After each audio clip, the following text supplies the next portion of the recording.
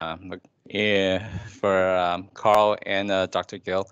So thank you for joining us today uh, to the Data Analytic Colloquium. Uh, let me just, um, uh, I'm Peter, and then uh, we, we, have a co-host, um, Karl, uh, Professor Ho from UTD, University of, of, of, Texas at Dallas. let me just briefly introduce the Data Analytic Colloquium um, to you all. Actually, this is an initiative uh, co-sponsored uh, by the National University, Chengchi University from Taiwan, and then uh, and the University of Dallas, uh, Texas uh, at Dallas. So we initiate this program. Uh, actually, we try to build a community online platform so that we can invite important important scholars in the field, so that we can share some the knowledge about uh, methodology and data analytics. So that's why we have um, Professor uh, Jeff Gill today.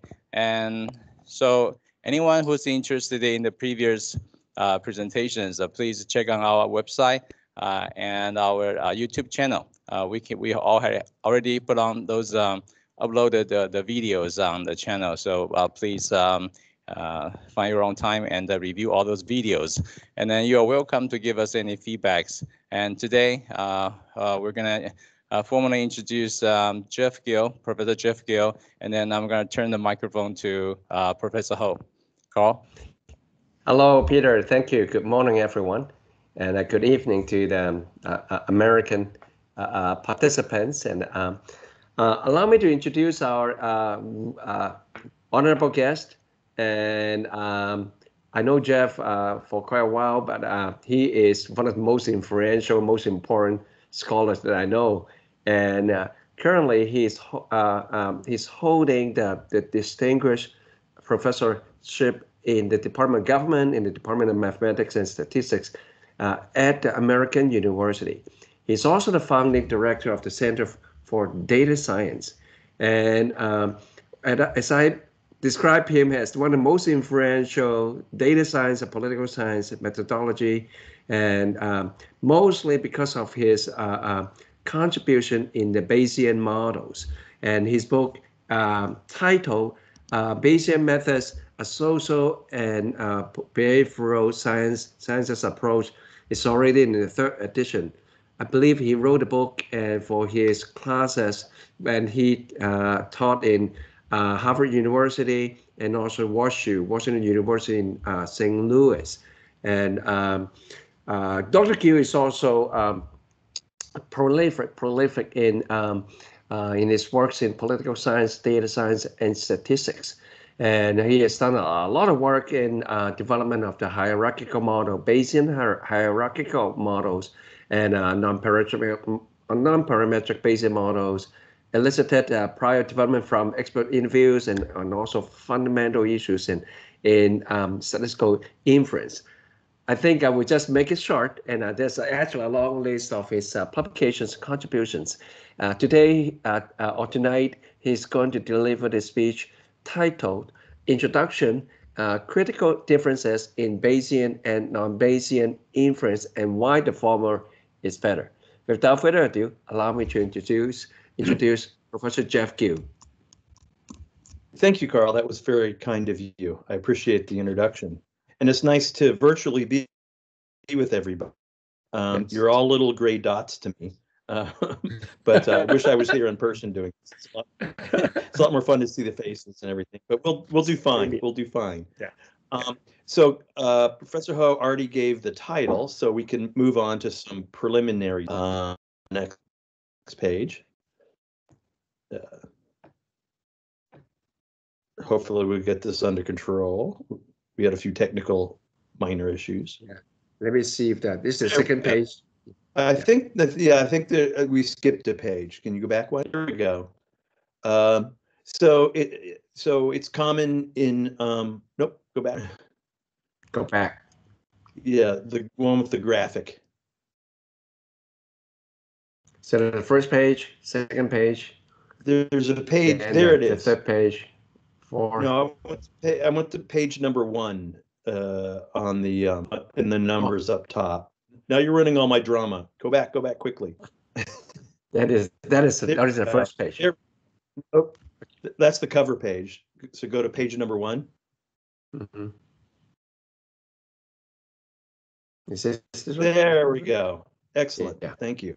Um, so just some standard things to get us started. Um, uh, it's common uh, giving presentations in uh, the medical world to say whether you financial.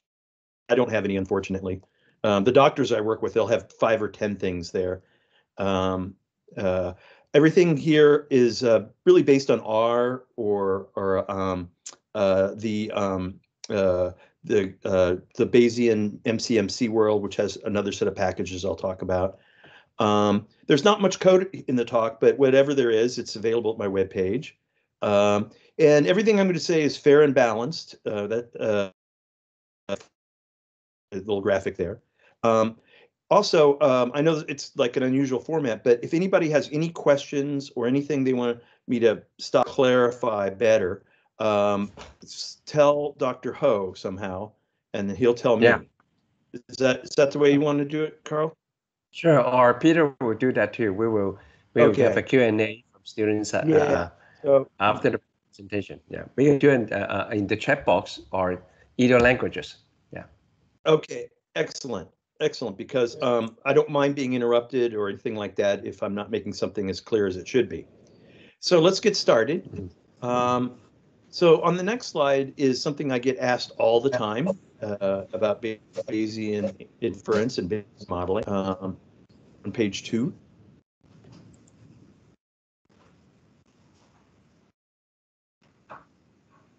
Uh, Do you see that? uh, Page two. So what's still on page one. There we go. There's page two.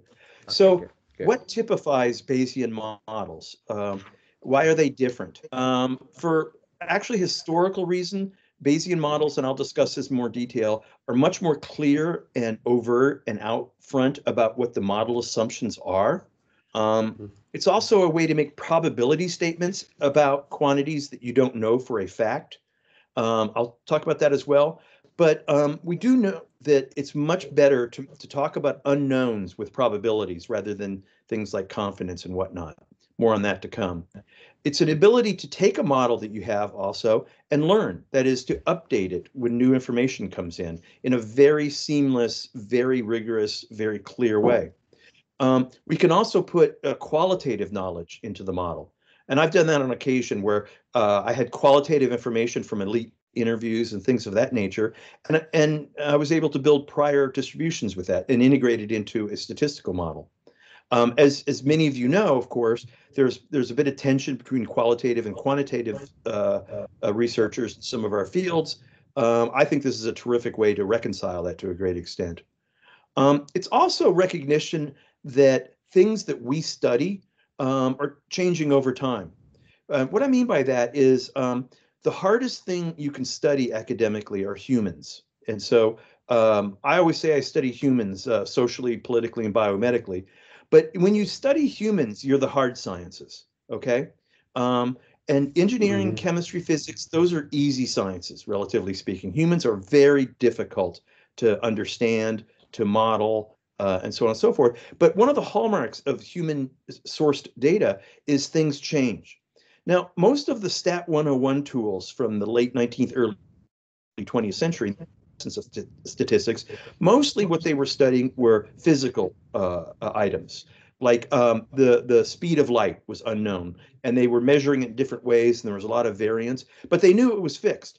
Very little is fixed, okay, in terms of groups of humans. So the probability that India and Pakistan went to war today is different than it was a week ago. Um, hopefully not fundamentally different, but these things change. And so the Bayesian paradigm gives us a way to admit that change, model that change, and update when new information comes in. You'll see today that um, talking about model quality, model fit, sensitivity to assumptions is very direct and clear. And um, it's free from what's called the null hypothesis significance testing paradigm. Okay, this is an awful thing, which I will talk about in about 10 or 15 minutes, that all of the social sciences participate in to a great extent. And you've all learned it, uh, you've all memorized it for the test. Um, it is actually wrong, and we'll get to that. Um, so on the next slide, I want to talk about the different kinds of statisticians. All right. Um, so um, can we move on to slide three? Excellent. So, um, so it turns out there are different kinds of statisticians, and that would just absolutely. If I told that to an undergraduate, uh, don't do that, Karl. Go back. Go back. Go back. Go back. go back. Go back quickly. Nobody look. Okay, it will be slowly. Um, do you see the the page three now? Uh, no, I'm seeing page four. It is slow in um, uh, in my screen it's still showing page three. There we go. I'm on page three now. Okay. Yeah. So um, just to get this discussion started, um, uh, there's a there's an old Simpsons episode from I, I think the 90s where they were trying to show how boring the space shuttle missions had become, and uh, the line went, uh, "This is a really exciting crew that we have for this space mission. We have a mathematician, a statistician, and a different kind of statistician." and so that was literally the dullest group of people that the writers could think of, but they were correct in the sense that there are different kinds of statisticians. Um, so uh, it turns out when you go to a conference, when you talk to colleagues, and they say, "Well, I don't know about that Bayesian stuff. I'm a frequentist." Almost nobody is a free, true frequentist in the social sciences. Okay, a true frequentist. This comes from N- Neyman and Pearson uh, mostly. Um, that if you are in that environment, you have an unending flow of IID that is independent, identically distributed data coming at you all the time. And you can make very sharp uh, hypothesis tests. You always set alpha in advance, and 0.050001 is fundamentally different than 0.499. Okay, and and they also, uh, I'll talk a little bit more about this. They also can't can accept hypotheses in a way that we can't. Okay, Bayesians are very different. Uh, Bayesians come from a different tradition, uh, more probabilistic perspective, and it's the idea that everything you don't know for a fact, uh, everything you don't know for a fact is treated with a probability statement. Okay. And there's no other way to do uncertainty. And then we update those probability statements as data comes in. Um, so what when most people in the social sciences say they're a frequentist, what they really mean is they're a likelihoodist. Okay, they get a one-off sample. You know, you, you can only do a survey contextually in time once. Okay, um, they're they're they're they're building building statistics usually based on likelihood statements like the one you see. Uh, likelihood uh, statements have very good properties. Uh, interestingly enough, uh, they weren't fully laid out until the citation here in 1962. But it turns out that every likelihoodist is a Bayesian. That is, every likelihood model is a Bayesian model with a the appropriate flat uh, prior distribution. And they're exactly the same asymptotically, and I'll show that to you mathematically. So uh, likelihoodists are Bayesians that don't know that. And so I like to say everyone's a Bayesian, some of us know it. So hopefully by the end of the talk, you'll be a Bayesian and you'll know it. Um, so uh, uh, the um, my drama's messed up a little bit, but now we're going to look at some differences, some important differences between frequentists and Bayesian, because likelihoodists are really Bayesians. So um, uh, the first one's obvious. It's some pictures from a, a recent political science conference. You want to move to slide four? Uh, yeah, there we go. So, I mean, this is this is a, su such an obvious point. I barely have to make it. Um, the visual differences. Uh, uh, again, this is just at a recent political science conference. Um, but more more importantly, why don't we go on to another critical difference? Um, Next page. Yeah, sorry, that's what I meant. Um, so a big difference is what's considered fixed in the in inferential setup. So to a frequentist, data are this IID coming at them all the time, constant sampling. And what they're studying are parameters that are assumed to be fixed by nature. Now, what is the speed of light, right? And and physical things for the most part, but not not strictly. Um, to, Bayesians have a different way of thinking about that. Once the data are observed, the data are fixed. They're not a random quantity anymore. And what I mean by that is I get I get I go out and I do a survey, I collect international relations data, I assemble it, I put it in a file, it sits on my hard drive. I go away for vacation. No, actually I can't do that anymore. Um, I, I, you know, I ignore it for a month and I come back and it's exactly the same. Okay. Um, so once the data are observed, they're fixed. Okay. What's considered non-fixed are unknown parameters and they get described with a probability distribution. Okay. And the more we know, uh, the narrower that probability distribution is. Okay. So next slide. Um, so this is just a little late. Yeah. Yeah. Yep. So um, another um, difference is the interpretation of probability. Okay. So we all had class or classes where we learned what's a probability, what are the Kolmogorov axioms, uh, what's a conditional probability, what's a joint probability, and then Bayes' law and, and all these things. So I'm not talking about the mathematical things you learned about probability. I'm talking about these people think of probability. So to a frequentist, probability is from a long run of doing things. Okay, that's actually literally where the name comes from. You're going to flip a coin frequently. So if Karl gives me a coin and and I want to I want to understand what the probability of flipping it and get a heads is, and I'm a frequentist, I'm going to flip it 500 times into a sand pit and just record the number of heads and tails that I get. That's frequentism. Okay, so what they care about mm-hmm. is the probability of the data showing something given a hypothesis, which you see in the second bullet point. So my hypothesis is, well, maybe I don't trust Karl and I'm going to test this coin right? I think it's, you know, it's not a, a 50-50 coin or something. Um, by the way, those coins do exist occasionally. Um, and so, um, so if you're a frequentist, you do something frequently. And they can do it as frequently as they want because they have this unending supply of data coming at them. Okay. Now, to a Bayesian, probability, as you see here, is the common phrase is degree of belief. There's another phrase that gets used all the time, which is what would you bet with your own money? Okay. So, in other words, um, if you had to bet on something, knowing what you knew at the time, what would you do? How, how, how you know, how much would you bet on, on an outcome? Okay. Um, that's a very personal version of probability. Okay. And it doesn't matter if people differ as well as you justify uh, your, your statements. Um, so what Bayesians are interested in is the probability of an unknown theta, some values, okay, given fixed data, which is that statement you see there in the second bullet. Um, can we go to slide seven? So, so these are important just in how we think about um, uh, unknowns and things we'd like to know or like to know more about. There's also differences in the general inference that goes on. So uh, frequentists, they generally work with point estimates, standard errors, confidence intervals.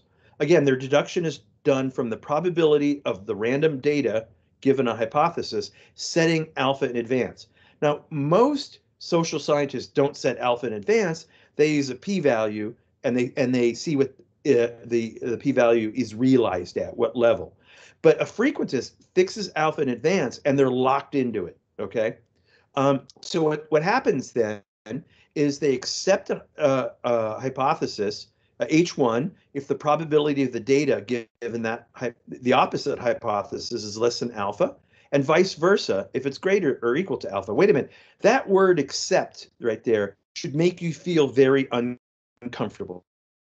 Because at some point in your educational career, in some statistics course, it was beaten out of you that you cannot accept alternate hypotheses, right? You cannot accept the null because there's an infinite number of alternatives to the null, okay? That's not how frequentism is set up. It's set up where there's only two possibilities, and when you reject one, you accept the other. And it's quite interesting to go back to the Neyman and Pearson papers from roughly the 20s, maybe a little earlier, and read the way they their language works. Um, and it, it looks like this Bayesians clearly don't do that. Um, again, induction is from some probability uh, of some unknown given the data. That's called a posterior distribution, starting with P of theta, which is not conditional on the data that's coming in. It's conditional on prior knowledge. That's called a prior distribution. Bayesians tend not to do as much um, point giving point estimates so much as showing distributions in, in that process. Um, we also have uh, our versions of a confidence interval, except they're much better, as you'll see in this talk. So um, in the next uh, slide eight, um, I want to make a point, uh, another a fair and balanced point. Uh, actually, I think I have one more difference, and then I have a fair and balanced point.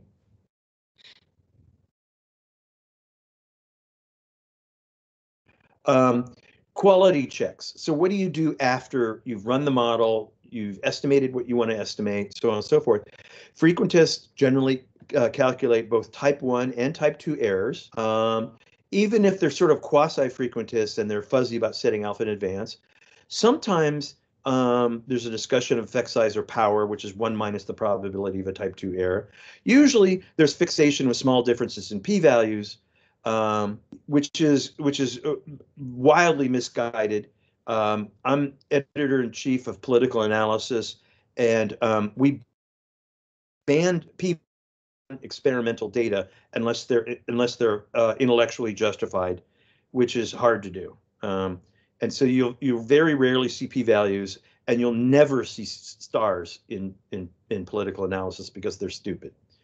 Um, what Bayesians do is things like posterior predictive checks so um, we will integrate over uh, the estimated parameters, and that allows us to generate uh, data that would have come from the model, and then we compare to the data at hand. And if and if those don't reconcile, if they don't look very very similar, we get uh, uh suspicious about the model. Um, Bayesians tend to do um, checks on the prior forms, right? Both because readers and reviewers want it, but also we want to know how sensitive the data are to priors versus okay. Uh, we do have formal processes, which I'll show you one today called a Bayes factor. Um, and there's some other ones, the BIC and the DIC, which are like the Akaike information criteria criterion, the AIC, which you've probably seen. So in the next slide, I have a more philosophical point. Uh, Karl, if I could go to slide nine.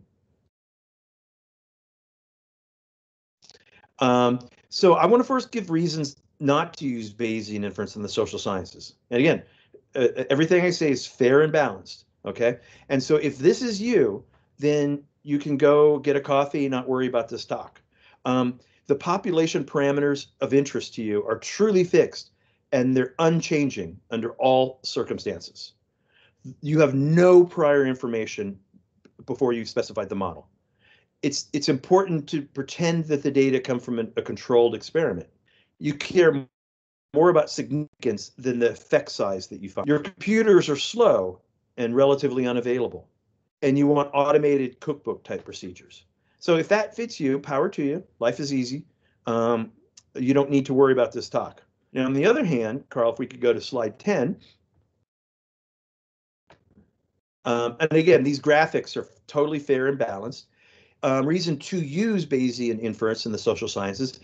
One, you want to be very careful about some them in print. You view the world probabilistically rather than as a set of things that are fixed. Um, you recognize that ever every statistical model ever created and or will be created is subjective. That is, it's subjective what data you got. It's subjective how you handled it. It's subjective what software you used. It's subjective what model you picked. It's subjective how you tested the model. It's subjective how you discussed the model. It's subjective how you build a regression table or whatever. All of those are subjective decisions. There will never ever be an objective statistical model. Also, you recognize that prior information abounds in the social sciences, okay? And it really does. Um, in fact, in most social sciences, it's not that we lack prior information, it's that we have so much prior information, it's a job to sort through it, okay? So relative to that, I don't want to ever read or look at a statistical model for someone that had no prior information before they started running regressions, right? Um, and um, they're not willing to be careful about the assumptions. Uh, go on to the next slide. the word subjectivity, by the way, is sensitive to Bayesians because uh, when we were under assault by um, frequentists in the early mid 20th century, um, uh, one of the things they said is, well, you're subjective because you put prior distributions on things and you get to choose that. And we're objective because we don't do that. And that's just, it was just words. It's, it's a, it was a terrible argument. So I'm going to talk for a few minutes about some traditional problems um, in the way we do non-Bayesian statistics in the social sciences. And by that, I mean like three quarters of, of quantitative have at least some of these sins. Um, so uh, I'm going to talk about small or large inference, uh, uh, sample size confidence, uh, some assumption issues, and then I'll get to the null hypothesis testing issue. Um, this is a, a, drawing, by the way, of a recent political science conference. Um, I think that was a political theory panel, though. So, okay, so let's move on to slide 12. And again, anytime you want to make a point, ask a question, interrupt, uh, uh, tell uh, one of the professors, and they'll they'll tell me to stop. Um, so there's a thing that pervades uh, the social sciences, and it's I would say it's more in sociology and political science than uh, economics or um, or psychology. It's the idea that you're doing better work because you have bigger data sets and can put more stars on the regression table. Okay, and and and that's not true. Okay. First of all, three stars does not mean the null is less likely than one or two stars because you had to assume the null was true to get stars right? So they all assume the um, and so it, stars just mislead people. Most people don't understand p-values, but the idea that you, you when you have big data, you're doing better work is fundamentally wrong. So I'm going to contrast two um, projects. The one on the left is called SETI. Does anybody know what SETI is? Usually somebody, one or two people. Um, and I can't tell because I can't see raised hands or anything. It's search for extra, extraterrestrial intelligence. Okay. So this is a really cool project. And of course, it's out of Berkeley. Um, and it's the idea that radio signals are, are arriving on the Earth all the time in gigantic numbers, okay, from space. And uh, most, uh, so far, all of them are purely random in the sense that they're generated by celestial objects without communication intent. And so what the SETI group does is they study these things and they take billions of radio signals and they build this fuzzy looking distribution that you see here. And it's made up of billions and billions of actual data points, okay? And so what that means is, notice the vertical lines that start and end that distribution. If you get a value that's epsilon to the right or to the left of that distribution, it's interesting, okay? And it might be a, um, a communication from extraterrestrial intelligence, either uh, just beaming stuff out or beaming it directly at us. The cool part of this project is anybody who wants can go to that download a software package for PC or Mac. And what happens is when you're not using your computer, which by the way is most of the time, um, uh, SETI is is is sending these samples to your computer, and your computer is grinding through them looking for something anomalous, something weird. Okay, and the really cool part is when if it finds something like that, it sends that distribution back to SETI with a data point that's anomalous. And if it turns out that that is actually, you get credit for discovering alien intelligence, not SETI. They, they won't take credit for it. They'll say, Dr. Karl Ho found a communication from aliens to us, and and, and you'll be famous. Um, so so that's a project with huge huge data. Um, I want to contrast that with something on the right, which is Italian marriage rates. Okay, um, for 15 years. You see the dates. This is a project I did, and as you know, it's really hard to get good statistical inferences when your n is 15, right? Um, I was able to do that uh, these are actually um, these are uh, summaries because they're they're rates, right? So um, so they have error bars on those rates. Um, and what you what I was able to do is make some statements with only 15 data points because I talked about Italian marriage rates in distributional terms. Okay, so the first thing you notice is there's there's a noticeable dip in Italian, the propensity for Italians to marry in the early 1940s. Well, it turns out there was this big fracas, this big, you know, uh, conflicty thing in Europe at the time. It was in all the newspapers. You've probably heard about it. Um, and so uh, while the Italians were away uh, fighting, um, marriage rates went down.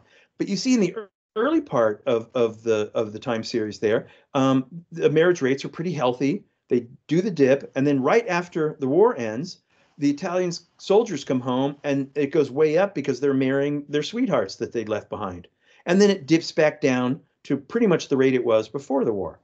And so um, you can say things like that because it's distri- uh, it, I'm talking about it distributionally. Now you wouldn't want to take a data set with 15 data points and then put in a dummy variable for because degrees of freedom to 14 plus whatever statistical tool uh, it, what it is imposing. So by being Bayesian and talking about it in distributional terms, I was able to take 15 data points and and, and make it uh, you know something interesting as opposed to 15 or billions and billions of data points. Does it mean that that searching for aliens is more important or less important than analyzing a sociological data set? No, it doesn't. It might. It depends on your view. But the point is, I'm not doing worse work than SETI is looking for aliens. Um, can we move, to slide 13? Okay, and so um, confidence.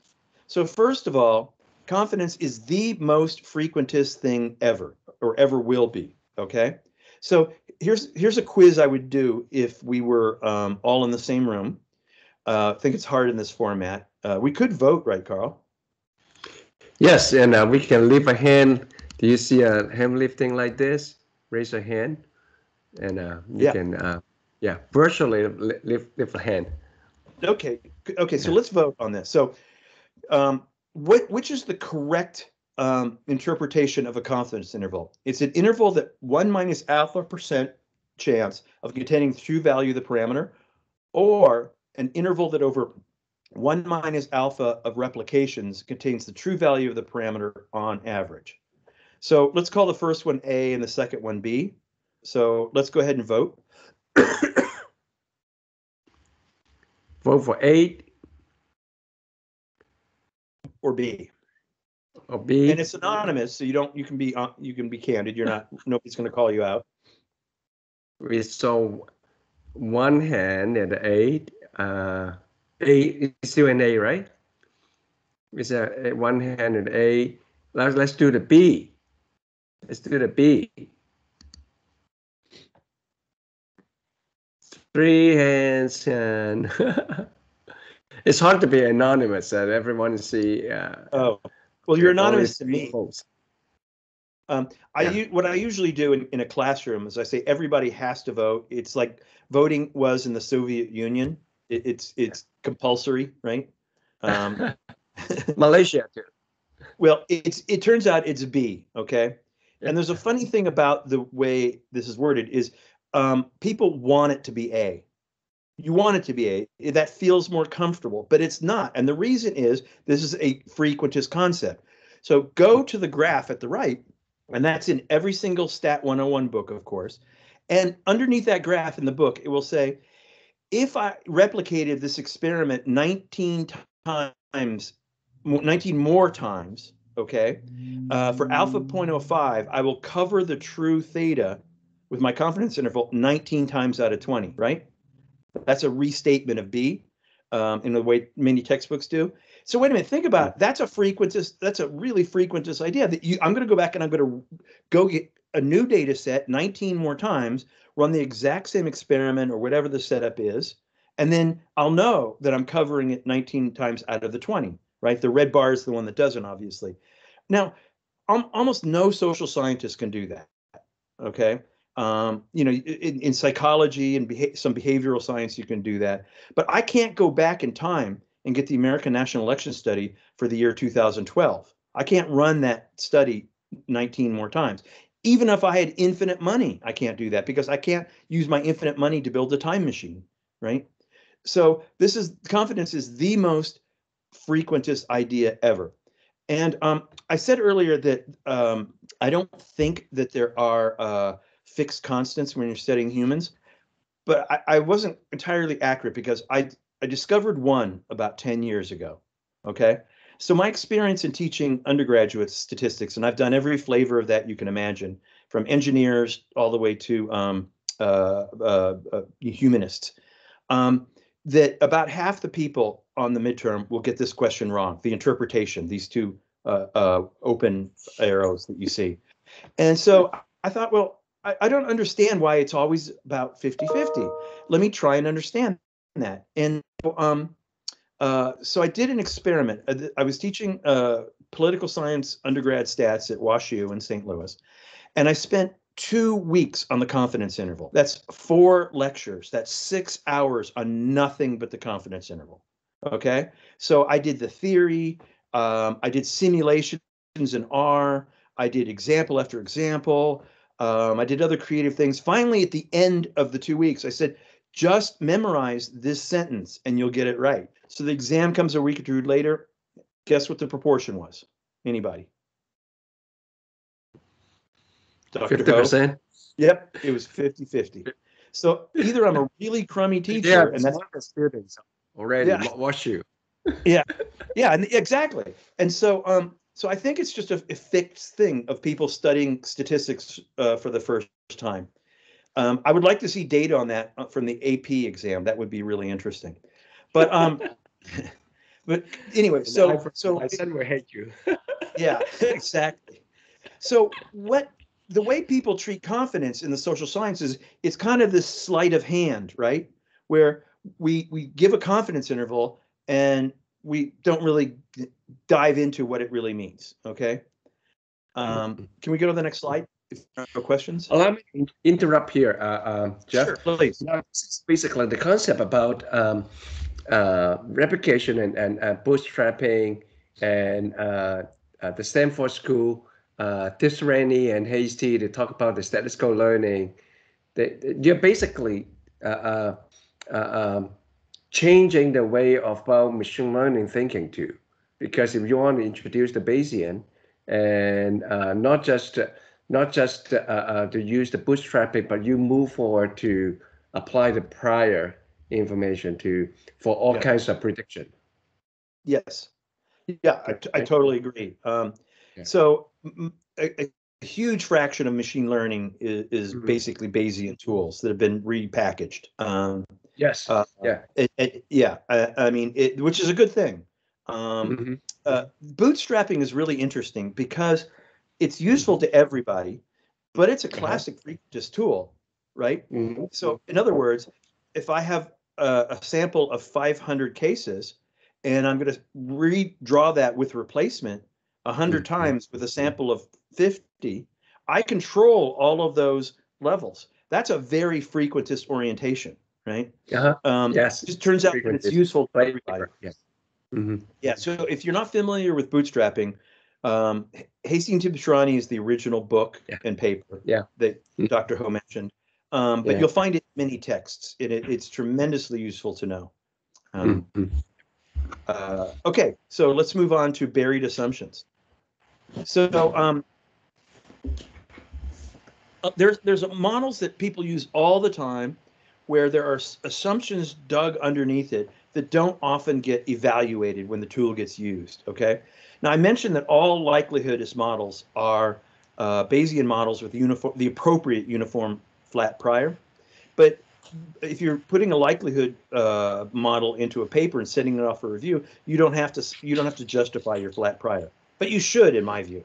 Um, there are loads and loads of models with normality built in that doesn't get justified. You're right. So uh, a classic would be analysis of variance, right? By the way, which which is misnamed. It should be analysis of variance of means, right? Which is really what you're comparing.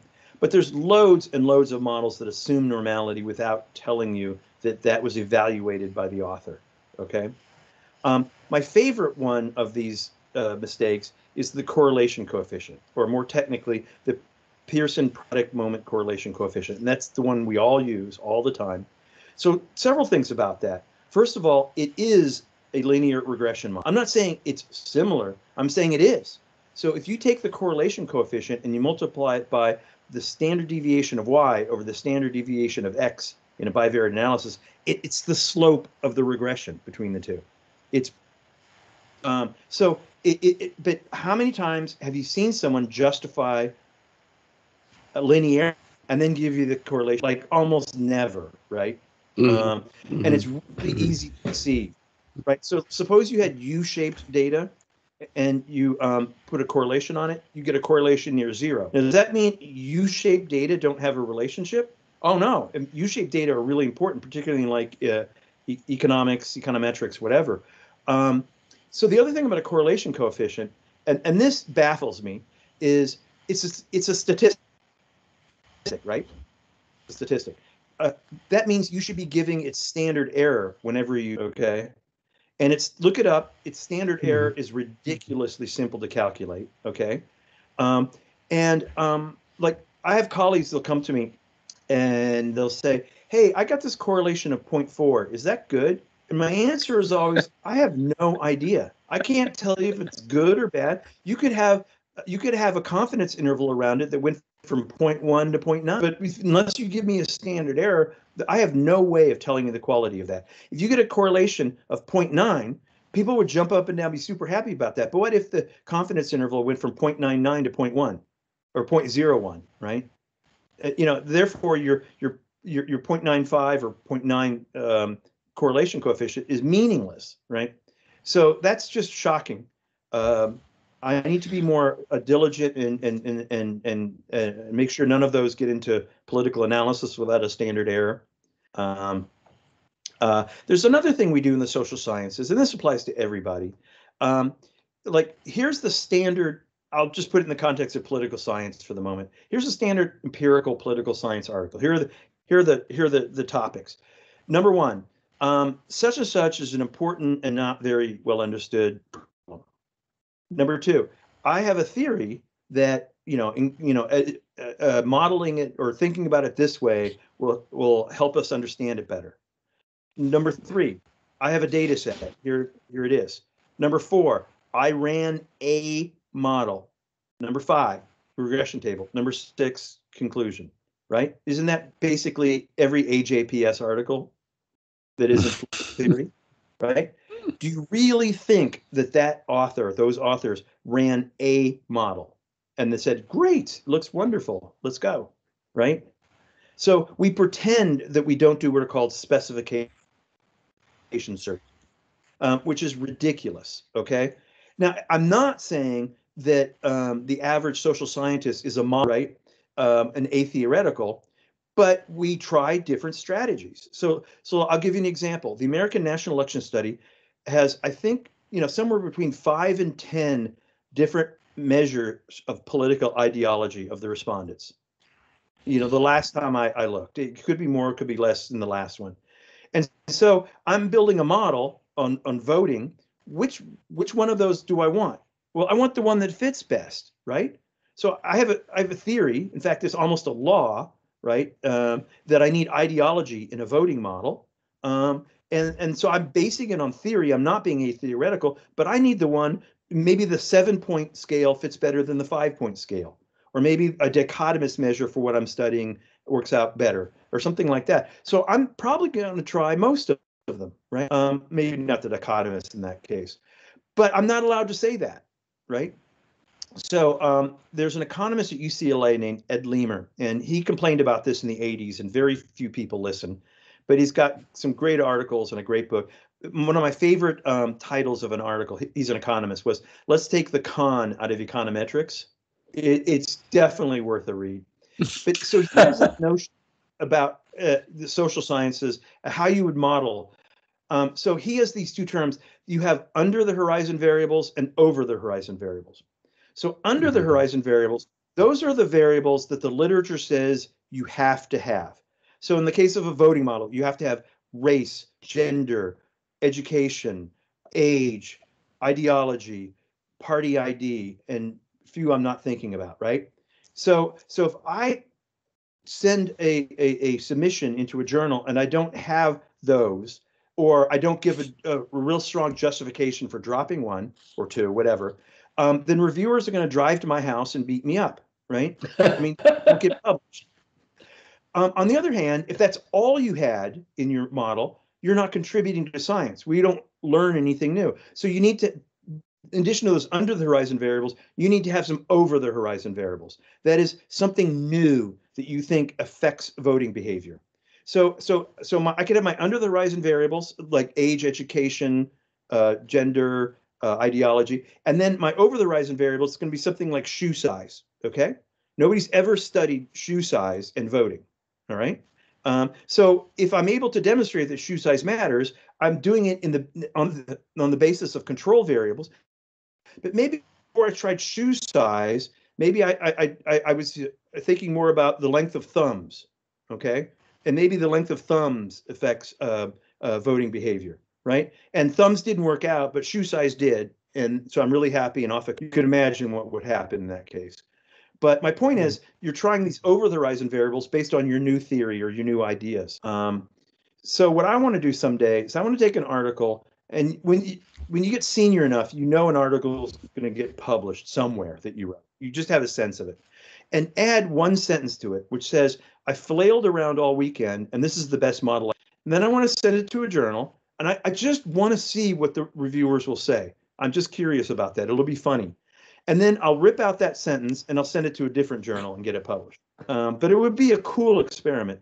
Unfortunately, I'll have to do it myself because no no co-author would ever be willing to do the experiment with me. um, and and there there's also a downside. What if it got published with that sentence? no, you could take you could take it out in the in the post acceptance editing process.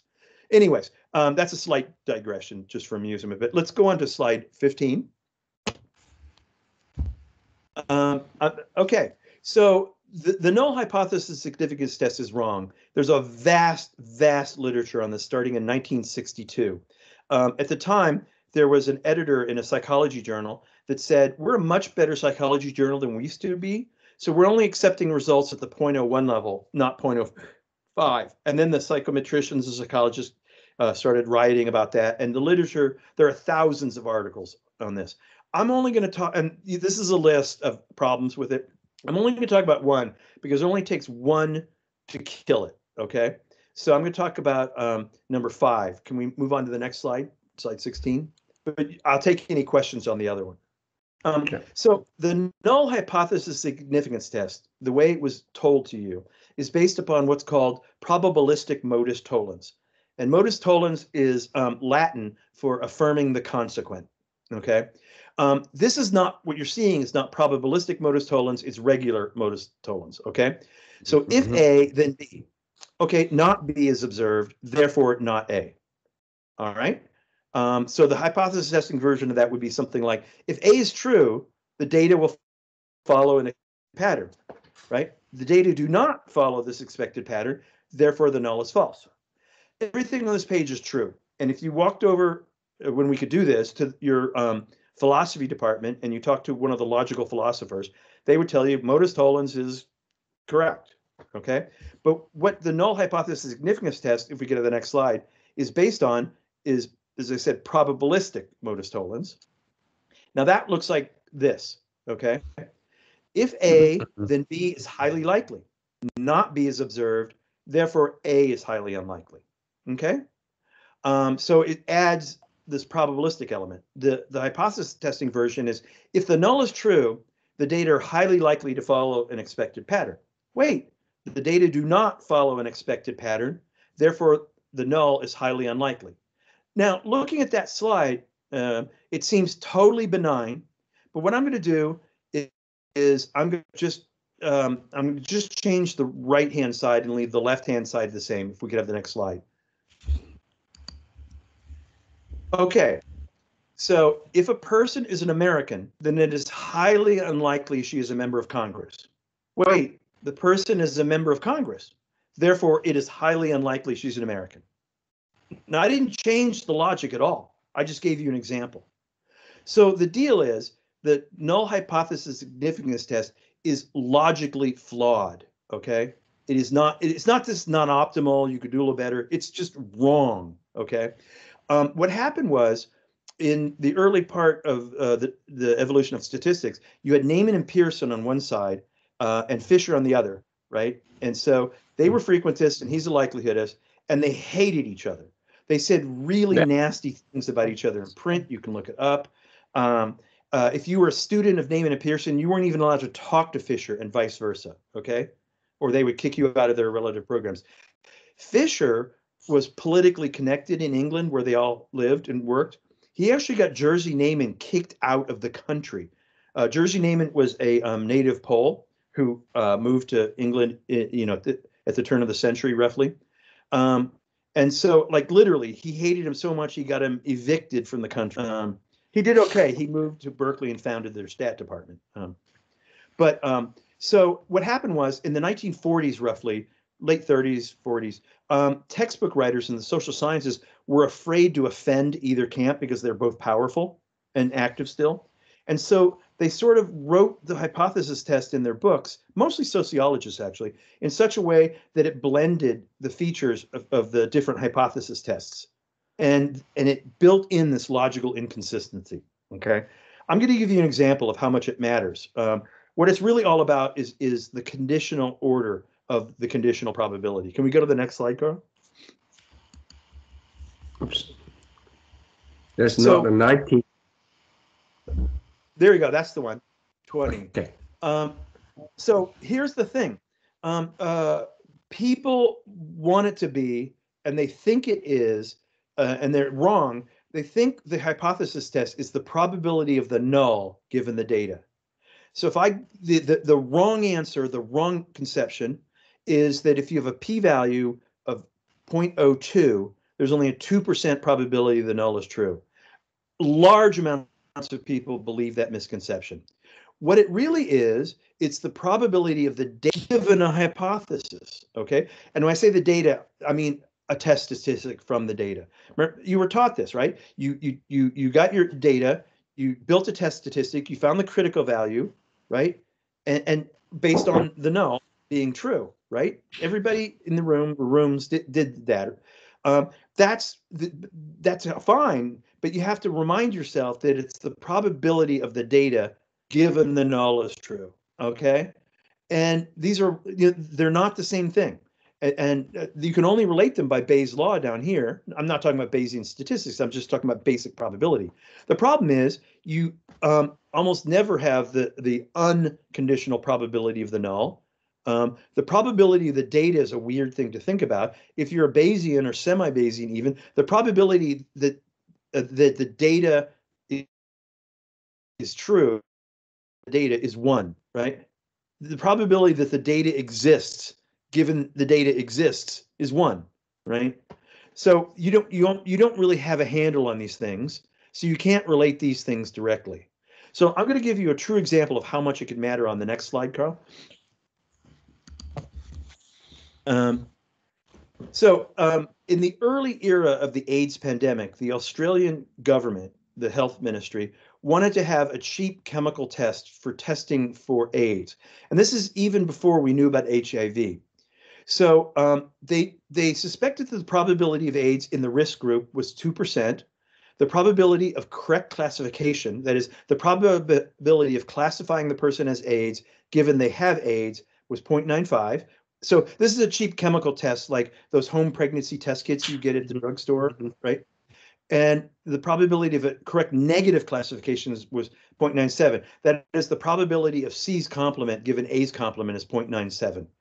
Um, and, and so um, the first one is called sensitivity, and the second one is called specificity uh, in the epidemiological context. Except, you know, the one, the, only good thing about the pandemic, it's it's it's made everybody an amateur epidemiologist, right? Just by reading the newspapers.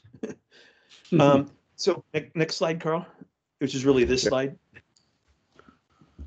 So suppose I want a di- different quantity. I want to reverse the um, the order of conditionality. You can go ahead and hit the next slide. That is, I want P of A given C instead of P C given A.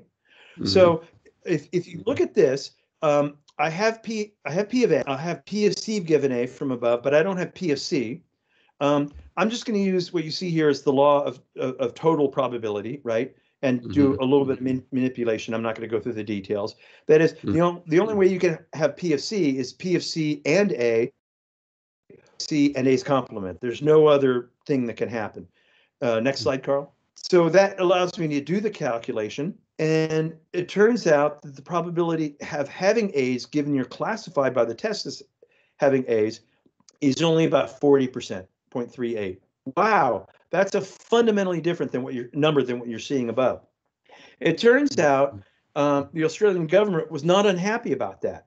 Okay, that is because usually I have a, a longer discussion here. Um, that is, um, you want the numbers you're seeing above to be as high as possible, and it's a trade-off. So you're gonna you're gonna live with a lower p of a given c. So what happens? Um, so uh, so the probability that you actually have AIDS, given you're classified, is 40 roughly 40 percent. That means 60 percent who are classified as having AIDS don't have it. So what happens to those people? They go to their doctor in and get the gold standard test, not the cheap chemical test. Okay, and then they find out they don't have AIDS. Okay, um, and so uh, that's good because you want the numbers high above to to stop the disease from spreading. Right when people know they have it, they'll stop spreading it presumably. Um, and all you did down below is you ruined someone's life for two weeks before they got in to see their doctor and got the test results. Right? You made the 60% miserable, but you made the disease um, spread less.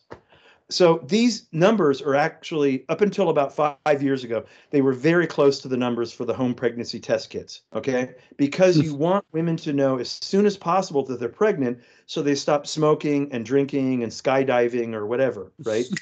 uh, so, um, so that's how fundamentally different those conditional probabilities should be. Um, Karl, can we move to the next? Um, so now, that I've bashed a lot of other things, let's talk about Bayesian stuff. Um, so the history, um, uh, the, the Reverend Thomas Bayes, he was a cleric in England. Uh, as you see here, he died in 1761. His famous paper, A Doctrine of Chances, was published uh, in 1763, courtesy of his friend Richard Price. Um, that's actually a picture I took of his crypt in central London. Um, it's his family crypt. So he and his family Sure. they're in there just a the real fires. You. Uh, yeah, I have a picture on my webpage somewhere of me standing in front of it. Um, it's a little park in the middle of central London near the City of London, the financial center. And the local office people use this cemetery to eat lunch on the benches um, when the weather's good. It- when I say when the weather's good, I mean about, you know, 15 days a year in London, but um, that's almost a joke. Um, so it turns out Laplace had similar ideas. He was French, but at the time, as you may know, English and the Continentals weren't talking too well academically. And then along come these giants of um, frequentist statistics, as you see here. Um, uh, when we talked about Fisher and Pearson, uh, there's actually two Pearsons. Carl Fisher was the father. Egon was the one that worked with Jerzy Neyman. Uh, Carl Fisher was born C A R L, but he Yeah. changed it to K A R L because he was an admirer of Karl Marx. And Professor Hogue may may have done that too. Um, Yes, uh, because uh, even though I'm came from the British Hong Kong, but I, but I yeah, admire- yeah, yeah. Uh, and um, that's why the journal yeah. Biometrika. Uh, so, uh, so Karl Marx founded the journal Biometrika, which is a stat journal, and it's got a K instead of a C because of that too. Anyways, um, and they all really hated Bayesian inference. Okay, uh, they despised it, in fact. And so, um, uh, so along came the Bayesians of the time, or slightly later, the, these folks, um, who kept the flame alive in a very difficult era because the first group was very powerful, and it led to a world divided. So um, for quite some time, if you got your PhD from a Bayesian department, um, a non-Bayesian a frequentist department wouldn't even interview you, and vice versa. Um, so stat departments got identified as being Bayesian or frequentist, um, which seems bizarre today. Um, uh, the, the one the one major critique that the frequentists had, had which valid, which was uh, for a long time, Bayesians could stipulate their regression model, you know, some complicated regression model, you know, a, a, a multi-level specification with interactions or whatever. And it was possible to get a posterior where you couldn't marginalize, you couldn't integrate out the, the, the parameters to get a regression table. It was impossible or very, very hard. And, and so um, uh, what happened was um, uh, a long paper, this guy in 1990, and it said, hey, there's this idea in statistical physics that we haven't been aware of, we haven't read, that solves that Bayesian problem, okay? And it's called Markov chain Monte Carlo. Can we have the next slide? Um, and so today, um, I, I, you know, things that have changed my life, you know, gene sequencing, iPhones, online banking, and Gibbs sampling. Gibbs sampling is a variant of of Markov chain Monte Carlo. Um, there's an actual Gibbs sampler caught in the wild. Can we go on to the next slide? I'm a little behind. So um, actually, Karl, can you make it so everything shows and I'll just remove my drama? Yeah. Oops. Go back. Um, so principle number one, um, explicit direct use of probability statements for anything you don't know, all uncertainty. That is probability models, a likelihood function for the data given the parameters. Yes, we still use the likelihood function. And then probability distributions for parameters. That is probability density functions, probability mass functions. Um, and then inference is done with inverse probability using Bayes' theorem, and then we provide a full description of the posterior. So those are two principles. Let me describe the steps in the next slide. Uh, let's remove the drama, um, it, Karl, if you don't mind. Um, hmm. so, no, number one, specify a model for the unknown parameter values, the things you want to understand, that includes some prior knowledge about the parameters. If, um, if you don't have much, we uh, I'll talk about diffuse priors in a little bit. Update that knowledge about unknown the unknown parameters by conditioning the probability model on the observed data that comes in and then evaluate the fit of that okay and and check the sensitivity of the, of your assumptions so those are the mechanical steps the next slide Karl is is the mathematical version of that mm-hmm. So um, the posterior of the unknown theta given the data x which is bold because it's multidimensional typically is equal to mm-hmm. the prior distribution on theta times the likelihood for theta given x divided by the integral of that so that um, the uh, the posterior on the left hand side uh, integrates or sums to one. So you can see that's Bayes' law right there. Um, mm-hmm. And so what almost all of the time that denominator is just an inconvenience and we can get uh, we can get its value later on with proportionality. Okay, so it's it's just to make sure that the left hand side sums or integrates to one. It, we, there's a couple other uses for it, but they're minor by comparison. So what I can do all, all my Bayesian without it using proportionality, which is what that squiggly thing looks like.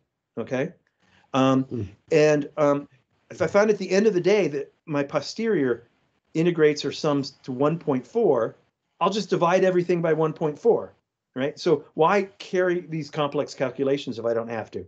So that integral is typically not necessary. So the posterior probability is proportional to the prior probability times the likelihood. And it's always a balance between those two things as I'm going to show you. Can we go on to the next slide? Um, why don't you remove the drama for me? Um, so mm -hmm. before we go to an example, um, just some different types of priors. I get this question a lot. I'm going to do this fairly quickly based on our, our time constraints. Um, mm-hmm. Empirical Bayes was out of fashion for a long time, especially among Bayesians, which is odd. It's the idea take some take some par- part of the data, uh, pull it back, and calculate a prior from that, and then use that prior on the rest of the data. And Bayesians didn't like that, but that's now very, very stylish in statistics because that describes a large fraction of machine learning. Um, proper Bayes um, that means that um, you use things like your research or intuition, knowledge from substantive uh, experts, what the literature says that that distribution looked like. Um, uh, you know, uh, in other words, knowledge, right? Um, reference Bayes, and sometimes these people are called objective Bayesians. That's uh, I'm I'm gonna. This is roughly a description. Build a, a, a prior that moves as little, and this literature gets very, very mathematical. Um, if you have a loss function, um, you can do risk, obviously, and there's a very nice setup for decision theoretic Bayes, but you have to have a loss function, okay? And so that Mhm. works extraordinarily well in economics and not so well in the rest of the social sciences. I don't know what the loss function is if I if I do a voting model that that's wrong. Um, but you know there is one. Um, actually, Gary King says uh, there there's actually um, net, it goes the other way because you'll get cited more. But that's that's more of irony than than, a- than a good objective. Having said that, most social science Bayesians are what I call uh, my term for Bayesians of convenience. That is, they put diffuse priors on everything, um, and and they want the they they want the the the the the logic of of Bayesian inference that is using probability uh, for all uncertainty, and then the powerful engine of MCMC. Um, uh, so uh, can we go to the next slide? Um, uh, okay, uh, just for time, uh, I'm going to skip this one. Um, and I'm going to skip this one. This this looks like a, a an 18th century painting of St. John the Baptist by the Dutch painter uh, uh, Green, Greenberg, but it's really Kevin Quinn or somebody like that preaching the Bayesian um, gospel, but then Hmm. using uh, or you know diffuse prior. So let's go on. That that's in there for slight humor value. Um, so uh, let's do an example. So th- this is the simplest example I can think of. Um, so we have um, x1 through xn, which are 0, 1 um, dichotomous observations. Uh, Bernoulli. Uh, so Mhm. what our interest in is estimating p, which is the probability of a heads or the probability of a one, whatever y- your Mhm. setup is. Um, I want to estimate that, so I need a prior. I'm going to put a beta distribution prior on it. Beta distributions are very handy for this purpose because they're bounded by zero and one, so I don't have to do truncation mathematically. Um, Mm. They're very flexible in terms of you- stick in values of A and B. They can be unimodal and symmetric. They can be skewed one way or the other. They can even be bimodal. So it's a it's it's a neat uh, it's a neat uh, and simple assumption for um, putting a prior on an unknown probability. The first thing I'm going to do is a trick, which is if if all I if all I want to do is understand um, uh, what p looks like, I don't need the order of the x's, right? I just need their sum, right? I don't care if there were two heads in a row that started the series. Um, and I know that when you sum those Bernoullis, it's a binomial distribution. So I'm Mhm. going to take all those x's and I'm going to create one random variable, which is y, which is Mhm. distributed binomial np. Can we hit the next button? Mhm. So give, given that setup, okay, um, now all I have to do is specify the PDFs and PMFs, um, which should be coming at you. Mhm. Oops, sorry. Oh, it's, don't worry about it. Okay. Uh, It's, Mhm. it's just our setup.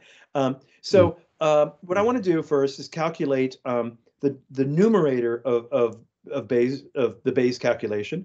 So it's a likelihood times a prior, right? So f of y given p is the likelihood, Mm. f of p is the prior. So what you see here, um, the first thing uh, uh, in front of the time, the multiplication symbol, is simply uh, a, a binomial probability mass function. Uh, we've all Mhm. seen that before.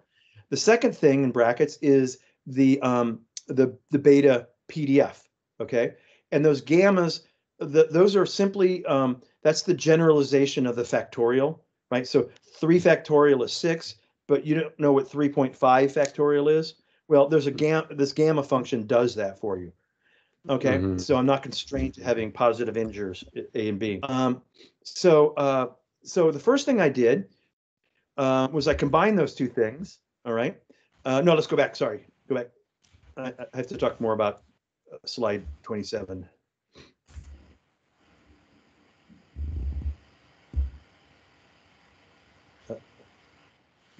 Yeah, slide Okay. twenty-seven, right?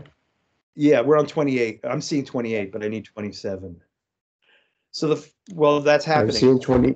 There we go. Thanks. So the first thing I did was I realized uh, the kernel of both of those distributions is p to the something times 1 minus p to the something else. So mathematically, I can combine those exponents with addition. And then I put all the gamma functions out front. And, and they're all constants. I know every one of them because I decided on what a and b are, and n and y are known from the data. Okay. So my job now is I want f of y to, for my denominator so I can get my posterior distribution.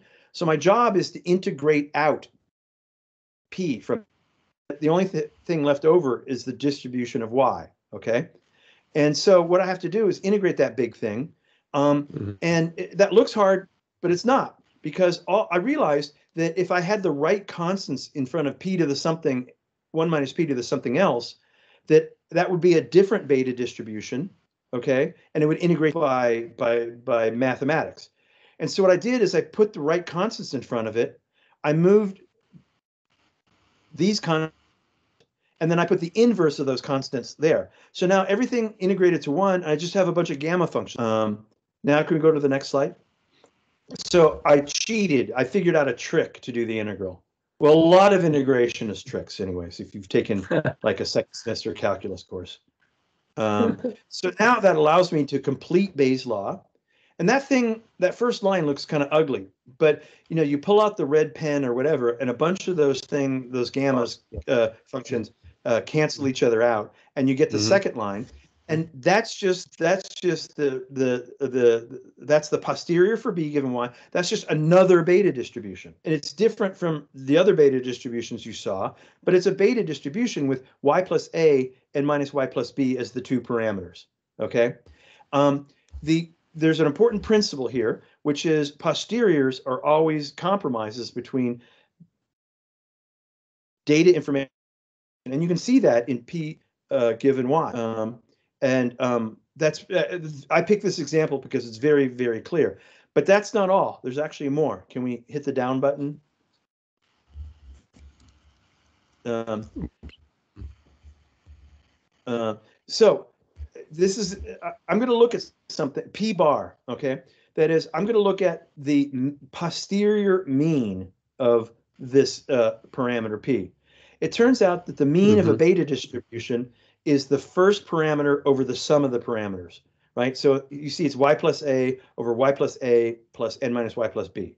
Okay, I'm just going to algebraically rewrite that into the form you see on the right-hand side. Okay, mm-hmm. um, and so uh, this is really this reveals something interesting. So normally I make this a Q and A thing, but based on time and distance. Um, so the so the the first the first term, y over n, is the data mean. How many heads out of how many flips, right? And and it's it's weighted by something, okay?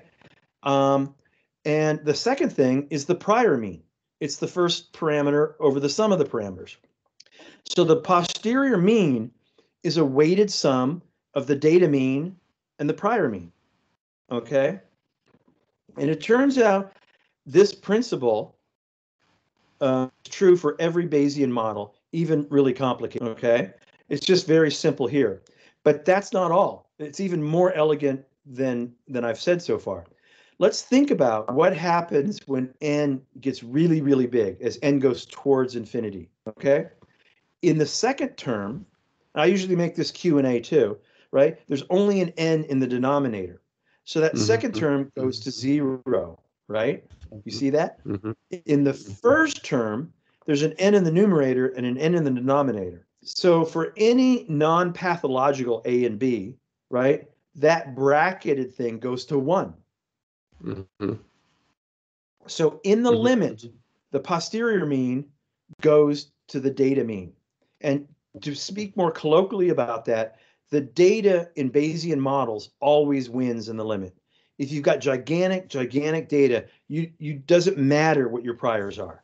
So for the SETI project, if they were doing statistical modeling, they would never they could do Bayesian modeling, but they would never have to worry about what the prior should be. It would overwhelm it um, uh, completely. Okay, um, so so that's a neat thing. Meaning, if I have loads and loads of data, I don't care so much what the literature has said or what I thought this thing should be, you know, when I was reading uh, various things or um, but on the other hand, in the case of like Italian marriage rates, right, when I've got 15 data points, the prior matters a lot. In fact, the prior it is, is what's going to help me get a good result. Okay. Mm-hmm. It means mm-hmm. also that I have to mm-hmm. highly justify that prior and I have to write it up so that people believe it. Um, so let's do a data example of this. can we go on to the Okay. next? Um, so, um, so here's a data set from Romney, and not the one you're thinking of. This Romney, this Romney is a cultural anthropologist, um, and one of the things he studies is is a thing called cultural consensus, and that's it's that's a sort of theoretical idea about how much do societies agree on stuff. So it turns out um, that advanced industrialized society agree on less stuff than primitive societies. Uh, that you know, information flow and competitive ideas and whatnot, uh, complex industrial phenomenon make people disagree on more more stuff. Um, that's uh, anyways. So um, Romney's testing it here with these 18 data points. I think it's 18. Um, and what he did is he he went to um, rural Guatemala and he interviewed peasant women and asked them, do they think polio is contagious? Okay, it is, by the way. And you see here, there's not perfect cultural consensus either way. Like if they were all ones or all zeros, there would be perfect cultural consensus, but there isn't. So let's think about estimating um, the the the p here. This is the same. I don't have to do the, the I already gave you the closed form of the posterior. So I'm going to do two priors. I'm going to do a beta 15 2 prior and a beta 1 1 prior. Okay. So the beta 1 1 prior is a flat prior. so one of the special cases of the beta distribution is a uniform distribution between 0 and 1. The beta 15 2 prior, that's my prior reading Romney's work. Okay. So I read all of his work on the topic and I thought he's not a statistician. Um, and I thought about what he was telling us, and I looked at some of his basic models where he just estimated proportions and things like that. And I feel that that's a good reflection of what he was telling us about rural uh, agrarian societies in, in this context. Now, if I this is a pedagogical example, if I were to have to write that up for an article, I would I would have to spend a reasonable amount of time, like at least a half a page, on how I got that prior. So I already have the recipe for the posteriors from the last page. So the results are a beta 32.9 and a beta 8. Um, if we could have the next uh, slide, um, you, you can't really tell what that means without seeing the graph. So um, the first one, uh, the top the top graph, that's um, using my Romney prior. Um, and you can see what that that prior looks like in gray, and the the posterior is the is the black the the the darker uh, distribution. Uh, I didn't have to put the scale on this because it's always between zero and one. It, it's it's a beta distribution posterior. Now below you see the flat prior and the posterior resulting from the flat prior. And so I learned two several things doing this. One is the um, the prior is not super influential here. That means the data have a lot to say. I'm not saying they're not different, but they're not wildly different. The priors are very, very different, uh, almost as different as I could make them in some ways, right? Um, Mhm. And so, even though the priors are very different, the data have a lot to say. So, um, so they're not moving the posterior dramatically differently. Um, however, they are different. Um, the flat prior moves the posterior sort of towards the middle. 0.5 would be perfect non-consensus, right? Half say yes, half say no. Um, so, so the vagueness in the prior moves that that posterior a little bit, bit more towards 0.5. Okay. The other thing that you'll see or seeing is that um, the flat prior means that the posterior is a little more adds more uncertainty into the Bayesian calculation, whereas the Romney prior had had quite a bit of certainty to it, right? And so it's not as spread out, and and that makes sense, right? The flat prior is not a no information prior, but it's a very low information prior. It doesn't add a lot of information. Okay. Down below, you see um, what's called a highest posterior density interval. Okay, it's 95 just because I wanted to do that. Um, that's the Bayesian version of a confidence interval. Okay, and so if if you answered A in our little quiz, this will make you happy. That is what you want. That's what every undergrad before you beat it out of them wants the confidence interval. There's a 0.95 probability that the true effect is in that range given the data and the model. Isn't that what you would want a confidence interval to be if you could make it that way? So I didn't put the Mhm. numbers, but you see that um, the the the the HPD interval is a little wider uh, for the flat prior than for the informed prior, and that's natural too. So this is probably the most revealing Bayesian theoretical idea. I, I think I'm Hmm. just going to rush through a. Um, um, we did start a little late, so maybe I have a few credits um, uh, in my bank. Um, uh, um, maybe a more nuanced social science example. Can we go to the next slide? Um, so this graph is slightly out of date. Um, um, but uh, so uh, uh, when I when I give this um, example in Europe, it reminds my audience that um, yes, we're barbarians and we have a death penalty, and it's it's predominantly done by um, by states. And so at the time of this analysis in this map, 15 states did not have a death penalty on the books, and 35 did. Uh, I think it's down to um, uh, uh, you know something like um, uh, it's, well, it's it's different now. It's more progressive. Uh, for instance, I know Mm. Colorado no longer does. Anyways, so um, so if you're going to do an analysis of the death penalty by state where it's practiced, and you're going to then use that to say something about the United States, um, and and you don't um, include those 50 states, your results are obviously going to be biased because you don't know how many executions um, New York State would do if it still did, right? So can I have the next slide? So the classic classic way to deal with that is what was what's called a Tobit model. Um, as you see, it's um, from 1958. Okay, it's it's it's uh, it's a it's a very important classic model to have in your social science toolkit to be aware of. And it's not hard to understand. There's variations on it. I'm going to do a very simple version today. If you know the econometrics book by Amemiya, there's a whole chapter on it, and it's it's a wonderful chapter. I recommend reading it.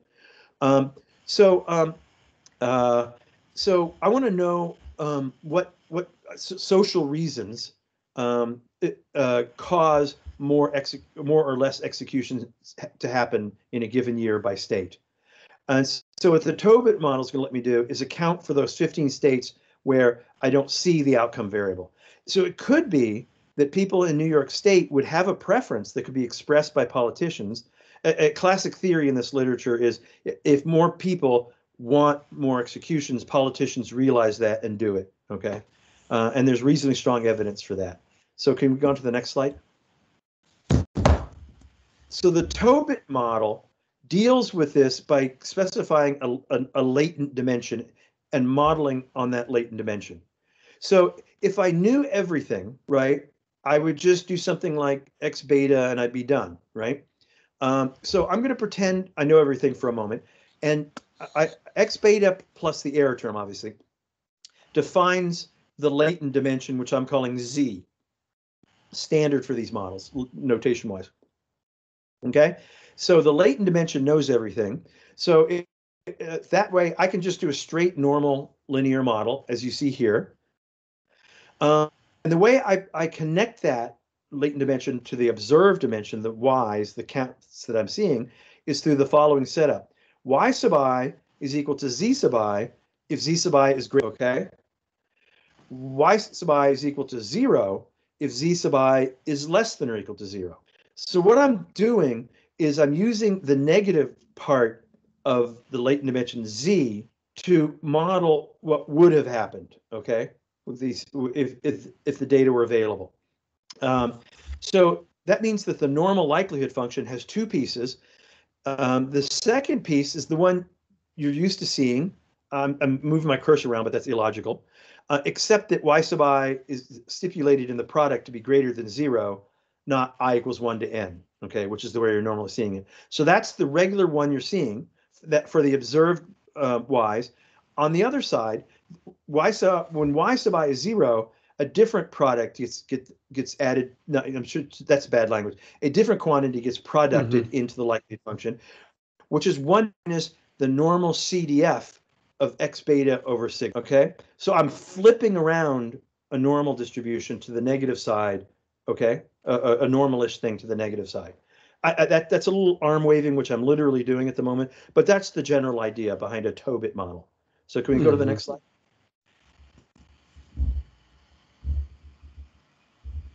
Okay, so it's it's a Bayesian model.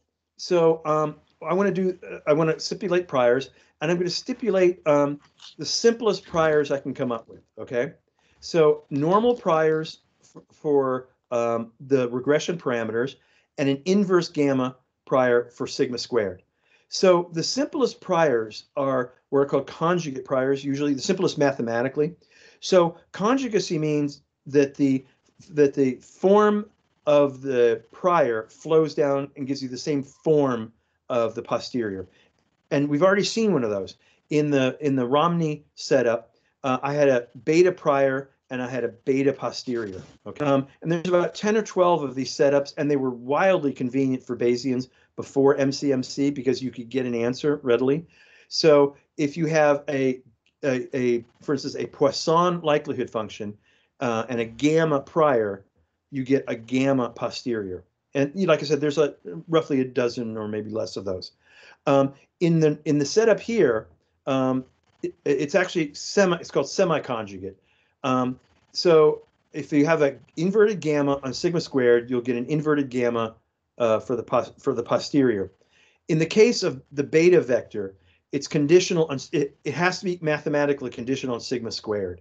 So it'll still flow down to be a normal, but it had to be conditioned on something else. Okay. Um, mm-hmm. and that's not really a, a, a, an inconvenience or anything. It's just a mathematical fact. Um, so, uh, uh, so the way I'm gonna I'm gonna model this. Can we go to the next slide, or estimate this? Excuse me. Oh, okay. So, okay. So I forgot. To, no, go back. Okay. So, so, so you saw how simple the calculation of the posterior was in that in that um, beta binomial setup for the Romney example. Here, I'm doing the same thing mathematically. I'm multiplying the likelihood function that you saw times all the priors that, that I care about. Okay. And what you see in front of you, right, is this big, ugly, awkward thing, right? Um, and so my job now is to pull out the yellow pad and the mechanical pencil and integrate out everything but beta naught, and then integrate out everything but beta one, everything but beta two. I think i am up to beta six or seven in this example, and then integrate out everything but sigma squared. And then I have a regression table. So this is the exact problem that Bayesians had that MCMC solves, okay? That is, it's not that hard to specify a realistic social science where it's either very hard or impossible to do those integrations. Okay, um, and and so I, I give this example partly to give you a sense of what your job would have been in 1989, right? You you probably still be doing it in 1990, working on it, right? Um, and so um, so instead, uh, I'm going to set this up with Gibbs sampling, which is uh, one of the two major variants of MCMC. Can we go to the next slide? So it turns out that a much easier job is to take that big joint marginal and turn it into a series of conditional distributions. In the MCMC world, these are called full conditional distributions. Okay, um, so so I was able to uh, uh, mathematically create those full or derive those full distributions so there's the full distribution for the betas. There's the full distribution for sigma squared. There's the full distribution for the z's, z i equals 1 through n, okay? Um, uh, with the truncation involved because of the, um, the um, uh, I, I, have to do this for the, the, the negative part, as you see there, with that indicator function. Um, so uh, here's how Gibbs sampling works. And um, this is a little bit of an arm waving one, but it's fairly intuitive. I'm going to have starting points for all these unknown parameters. Okay. I'm going to draw beta from this from this normal distribution. I'm just going to draw that vector, or I can do them one at a time if I like. Um, mm. and then I'm going to take those betas. I'm going to plug them into the conditional for sigma squared, right? You see those in the numerator. Then I'm going to draw an inverted gamma distribution with those parameters and assign it to sigma squared. Then I'm going to take those updates. I'm going to stick them into the, to the full conditional distribution for the Z's, I'm going to draw those. I just did one step of a Gibbs sampler, okay? Um, the key is that I always use the most updated version of the other parameters. I, I just told you how to do that once, but in fact, I'm going to do that 10,000 times or 50,000 times or a million times, okay? um, th- this is um, this is this process defines a Markov chain, and there's a proof that if you meet some uh, a host of mathematical conditions, that these values will eventually converge to what's called a stationary distribution, and the values in that stationary distribution can be treated as if they're IID draws. And then all you have to do is summarize them with, with mean or, or var in R, and you get your regression table. Um, that's a bit of an arm waving version of it, but the key is you let the computer run for a long time under the right circumstances, and eventually, uh, it's called the ergodic theorem. Uh, you get a, a, set of draws that are from the marginal distribution. Treated as they're from the marginal distributions.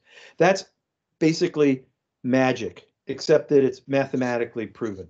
Okay, um, the Gibbs sampler is proven to be an ergodic Markov chain, um, so we know it will eventually, if the model is identified, uh, reach it, the the stationary or ergodic distribution, and then all, all our work is take 10,000 values and put them in uh, uh, in R and say, I want the mean of this, I want the standard deviation of this, I want the quantiles of this. And once you finish like running the chain, life is so simple. And if I have 10,000, 50,000 draws from beta 1 from my model, I don't need to know what the analytical version of it is. I know everything about it that I care and I can graph it. I can build a regression table for beta 1 or include it, whatever. So let's go to the next slide for the results. Uh, oh, sorry.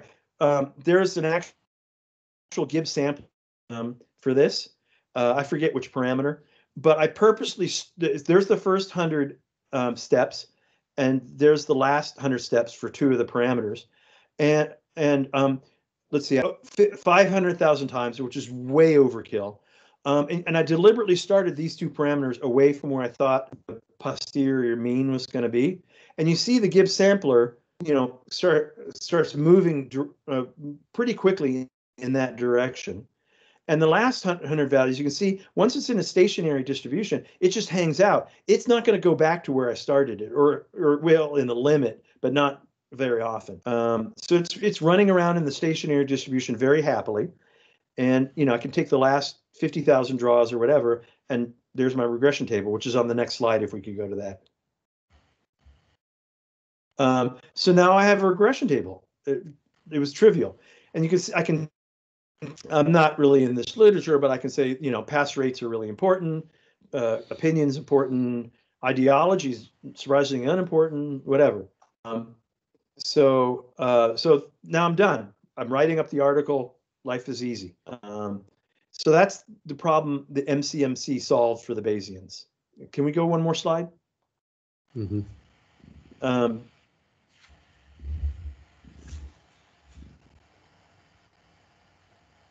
Um, nice.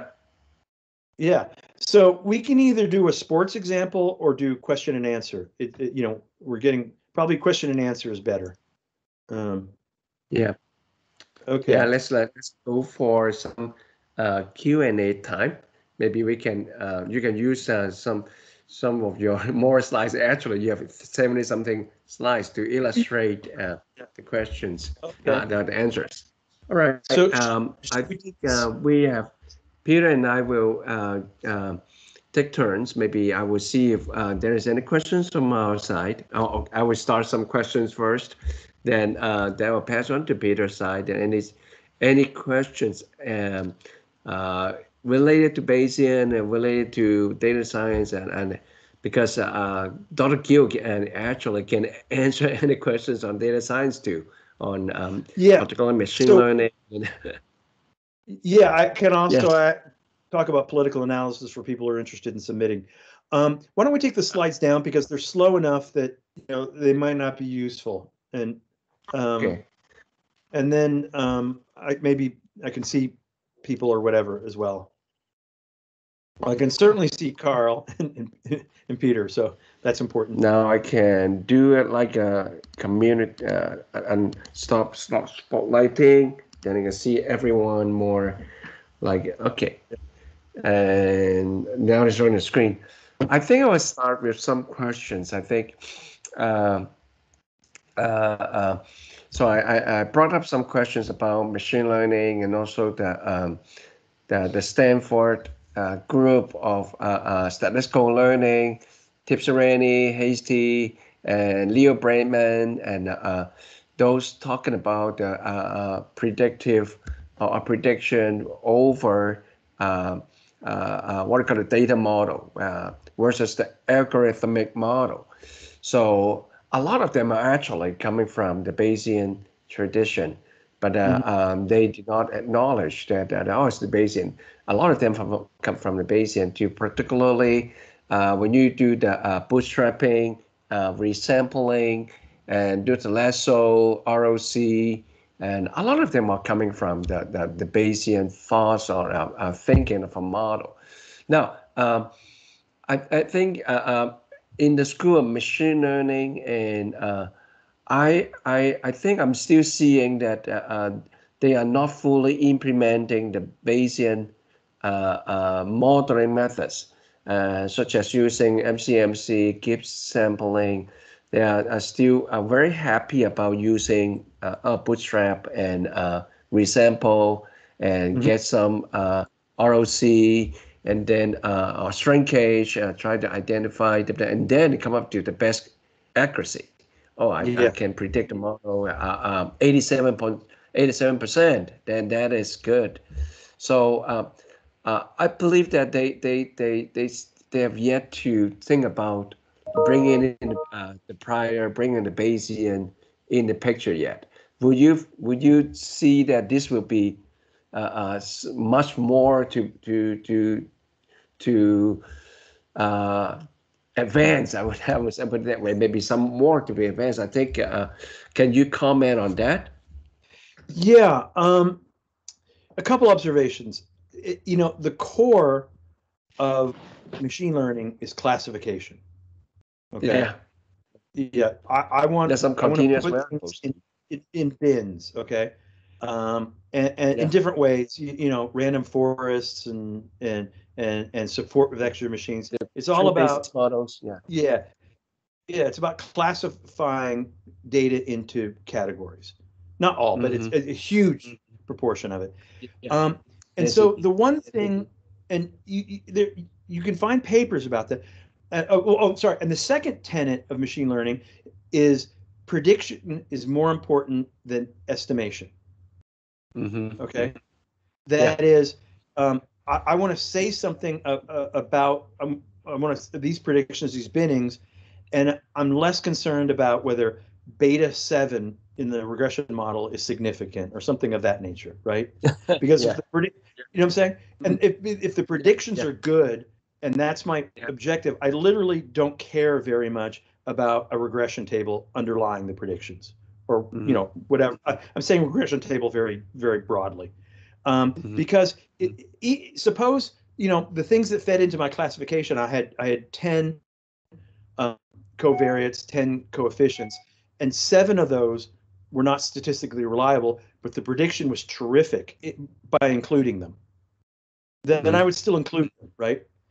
The the, mm-hmm. the sort of the sense of uncomfortableness between that those objectives and being fully Bayesian is that a fully Bayesian process of that would would want to have a distribution around those those binnings, those class, you know, those mm-hmm. classifications. Yeah, yeah. You know mm-hmm. what I'm mm-hmm. saying? Yeah. Uh, yes. Mm-hmm. Yeah, and I've done some work in this area, and it's hard to be fully Bayesian like that.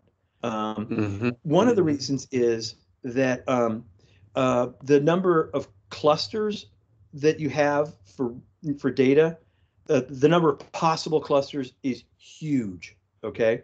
Mm-hmm. So if I had four data points, there's 15 clusters. There's a bunch, you know, there's one where everybody's in the same cluster. There's one where everybody's in different clusters. There's there's some two two combinations and three one combinations, and that adds 15 clusters. So if I had only had four data points, then there's 15 possible classifications that I could do mathematically. Okay. On the other hand, yeah. if I had 30 data points, okay, which is still a modest data set, there's one times 10 to the 24 possible cluster configurations, possible classification. And to give you a sense of how big that is, and the reason I memorized that number is 1 times 10 to the 24th is an estimate of the number of stars in the universe. so, so in other words, if you if you downloaded a set and and this this thing um, this function goes up it's called a bell number and it goes up dramatically okay um, if you had 100 survey respondents which is still pretty modest right uh-huh. you're going to have something like uh, trillions uh, more not trillions and trillions and trillions of more clusters that is classifications you could have more than the number of stars um, and, and, it goes up incredibly fast this bell number mm-hmm.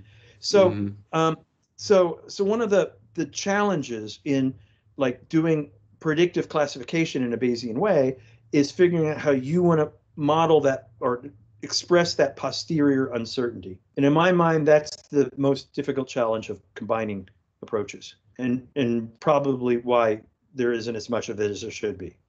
So um, I would hope that, you know, like it, it, in the future, if people could possibly do it, say, I'm 80% accurate, okay, uh, in my prediction, right? And here's the credible interval or HPD around it, the Bayesian interval. Okay. Mm-hmm. And, mm-hmm. and um, there are ways to get that. But here's another related problem is let's say you have a classification and then right next to it is a slightly different classification. Like mm-hmm. case number seven got moved from and case number 12 got moved from this bin to another bin. That's almost mm-hmm. the same classification, right? So mm-hmm. in terms of cluster space, which is really, really hard to visualize, like you would want a posterior across cluster space. This is something I'm working on. Like, in other words, you have a posterior distribution. Um, this point it, uh, next to the mode is almost the same as the mode, right? But the mm-hmm. number of the number of classifications that are next to the classification that you predicted is huge in the way that I was just talking about with the bell number. Does that answer your question, Karl? I think that yeah, this open up uh, um, our discussion. Uh, most importantly about the the application and also the uh, um, the efficacy of this uh, uh, Bayesian approach. And I thought uh, I think one of the slides prompted me to think about um, the end here, that the data and you suggested that the n goes to infinity. There's a lots and lots of data. In in in that, this is really re uh, real, so real now. We have so much data nowadays in the big data world, and everything could be like a, a, a millions of cases. But uh, imagine that if you have a large n, but much of these n, uh, much of this data are generated in the way that that could be. Uh, not even uh, relevant to the measurement of that variable. So, yeah. so that could be leading to, of course, a, a lot of uh, uh, computation power waste, but also uh, uh, uh, not to help, not to be helpful about coming with the accuracy. So Google has some problem already, and you heard about the Google Flu trend. Is exactly this problem. They have large yeah. and they that, does not bump up the the, the the the confidence about hey this is the right uh, uh, prediction because they have they they pull in a lot of irrelevant data. That, that is a measurement issue then and then make make make them think like we have a large n and we have uh, more data. Then and then of course uh, Google Flu trend uh, uh, they, they ended up uh, missing the target by by threefold, fourfold, and I think this did, did that made uh, Gary King and uh, and uh, his group uh, famous for uh, analyzing the, pro the, problem of Google. Then um, so they have the science article, and so from the Bayesian perspective, Professor Gill, what what do you think about this data being generated in a way that that, that is that is not even uh, supposedly helping you with the uh, end. Yeah. The, yeah. Yeah. Well, yeah, listening to you make those important points, I'm reminded of a, a very famous phrase, GIGO, garbage in, yeah. garbage. right? Yes. and yes. that's always been true, right? But if you think about it, in 40 years or less, uh, humankind went from having not enough data to having too much data. Yes. Indeed. Yeah. Yeah. In, in fact, I have a JOP article about this coming out next month. Um, uh, Oh, congratulations again. Yeah, thanks. And um, y- you know, so the problem of too much data is a totally different problem, of course. And Yes. um, data quality to a person like me is sometimes out of my control. In the sense that I, in over my career, I have done it, but I generally don't collect my own original data.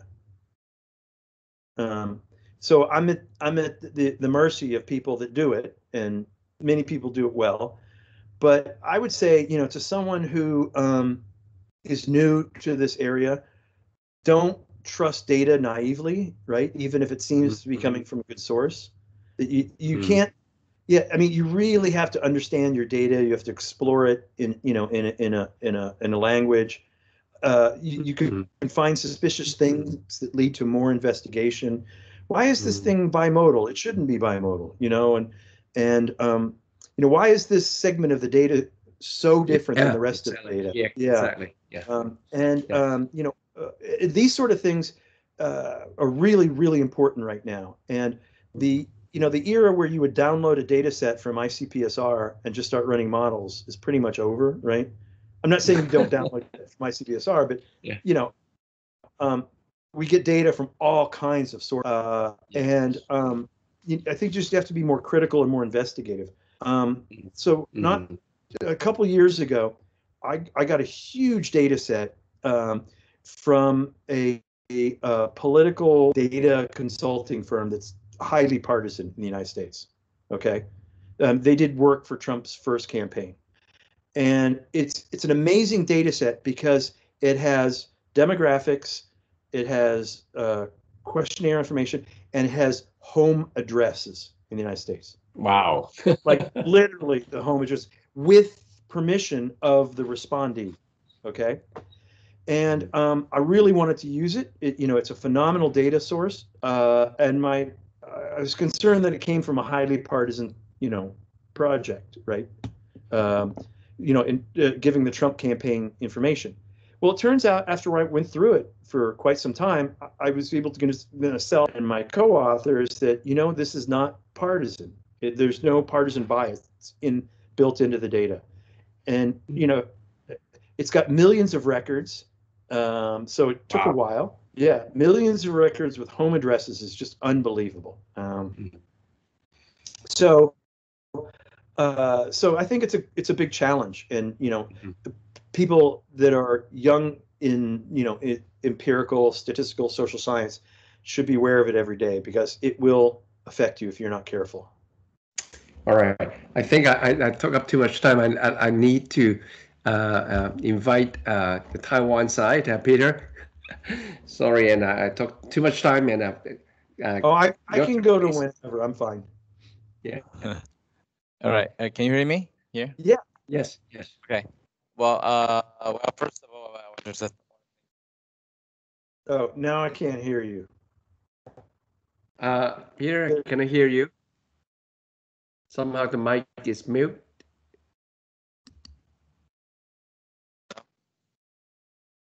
Can you check on? Hmm. Can you hear me now? Yeah. Yeah, I can hear you Oh, now. okay, yeah. okay. Well, I just want to say thank you for this wonderful presentation, but uh, I have to admit that you know, part of it is quite, um, you know, just over our heads and for some parts. And uh, uh, so our students here, uh, we, we have just very preliminary um, uh, questions about the idea of uh, the Bayesian model. Some of us are quite um, kind of troubled with the idea of a prior probability or um, the, the idea of a subjective probability you know, which can be a belief issue in some way. So um, the, the question goes like, what, what distributional probability to start with? Like, uh, you know, if we want to guess uh, or the, the, the prior belief of what a, a distribution could be, uh, is that a normal distribution to start with? Or, you know, in case that we don't have the prior uh, knowledge about the, the, the distribution. So normal distribution would be uh, the first choice, and and then you know proper and then the proper specification of a conditional probability becomes another issue too. So uh, what's the general um, suggestion or recommendations for um, our uh, novel students or novel uh, Bayesians? Yeah, thank you. Sure. Um, so in the social sciences in regression modeling for regression coefficients, you're absolutely right, Peter. The the default is a normal, um, and the de default is a normal centered at zero with large variance, and that's considered a diffuse, uh, low information prior. I I really like regression priors th that center at zero because it means that the data have to move it off zero. So let's say you know beta seven was mean mean seven variance one in, in posterior terms, and you started mm-hmm. with a mean a, a, a prior mean of zero, it means the data moved moved that that uh, that statistic from zero to seven. The prior didn't do that, and that feels to, those events feel to me like I'm doing the right thing. I'm I'm you know I'm I'm getting a lot of evidence that that, that thing lives around seven. So that's a very common thing in the social sciences. It's probably 90% of what people do. Um, you can get diffuse priors for variance terms like inverted gammas that with long tails. The reviewers almost never argue with that, um, and so that's pretty straightforward.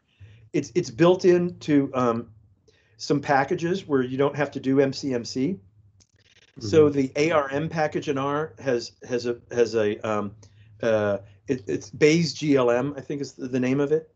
Um, uh, MCMC pack is another R package that makes things very easy for you.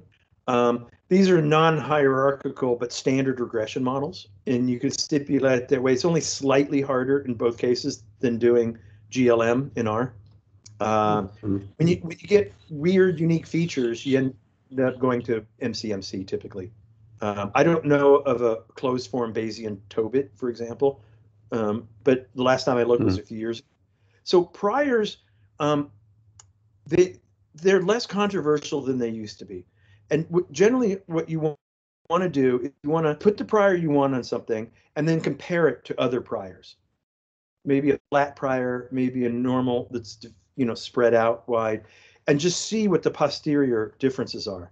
And if the mm-hmm. posterior differences are big, then you need to recognize that your prior, the one you stipulated, is influential. I'm not saying it's wrong, but you have to say the prior mattered here. It, it, it made a difference, and here's why. Here's why I want to keep it, right? Um, so years ago, I wrote a paper um, where in in education policy, there's two groups of people that argue each other for years.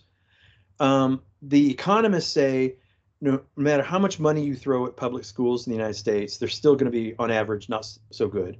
And some political scientists argue with them, Ken Meier in particular, saying, no, it, it, management of the school really matters. The you know other factors of the school matter. You can make certain schools better by by giving them more resources. And so I got a I got a convenient data set, and I had Meier priors and I had Hanushek priors. Hanushek is an economist at Rochester. And um, so mm-hmm. same data, priors that I thought reflected those scholarly groups, and I ran it on the same data, and I got uh, obviously different results.